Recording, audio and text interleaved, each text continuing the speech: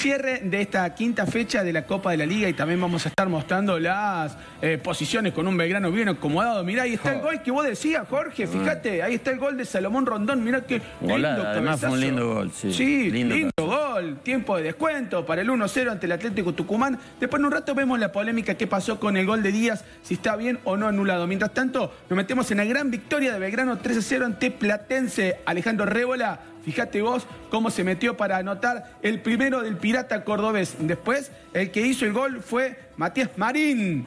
Ahí está, el chileno que le dio el segundo en un gigante Alberdi que explotaba de gente y explotaba de alegría por la victoria que iba gestando el Pirata ante el Calamar. El Calamar dirigido por Martín Palermo, que estaba en la cancha. Qué Qué, lindo- qué buena vista que hizo el arquero de Platense en el segundo gol. Bueno, Jorge, cada Sí. uno eh, actúa como puede. Y en este otro... Mirá el intendente, casi lo erra el intendente. pero fue lindo gol. Pacerini, cuarto gol en lo que va del campeonato.